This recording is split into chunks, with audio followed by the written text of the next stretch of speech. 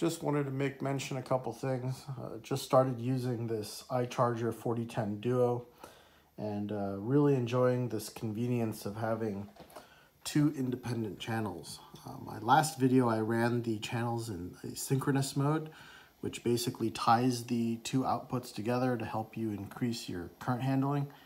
Uh, and I did that for a charge and discharge. And this time I need to slowly start bringing this battery back up and uh, decided I was running a different test on these things. I'll have a video for that as well, but I was testing out a BMS using this this little thing here.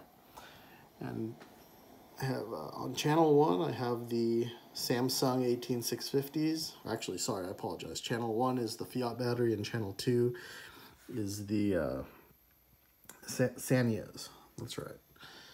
Um, so, you know, not really pushing much current. This time I'm driving it off a uh, server power supply. And I soldered some 10 gauge silicone leads to some Andersons into this thing. You really got to watch your input current. And if you don't, you'll pull one of those Jehu things. He broke his charger. But you should probably consider getting this one. You can set your it's locked right now because I'm charging, but you can set your parameters for input power and also set a limit. So I set a 40 amp limit for this thing for 12 volt. And uh, even if I turn it up higher than that, it, it won't allow the supply current to exceed 40 amps. Um, you can, and uh, I think the input current limit or maximum input current on this thing is 65 amps, but trying not to break the thing. I do like the screen, do like the two independent channels. I'm charging a 7S battery and a 5S battery. The status buttons get you some additional information. So internal resistance between this guy and this guy is pretty significant.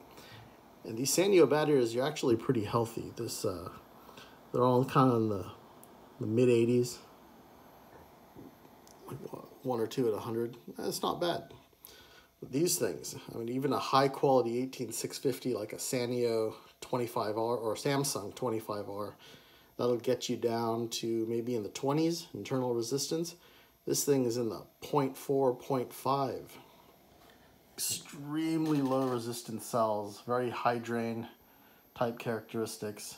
I've pushed this battery. I, mean, I was throwing like 40 amps of charge into the thing and it, it doesn't warm up. Chargers warm up. Cables will get uh, smoking hot. I actually turned it back down. I highly recommend the silicone leads, but that is not what I'm using here. It's kind of temporary, just to uh, kind of test the stuff out. But yeah, so far so good.